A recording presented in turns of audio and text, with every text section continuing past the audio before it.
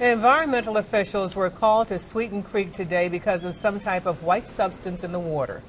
It made the creek very white and milky.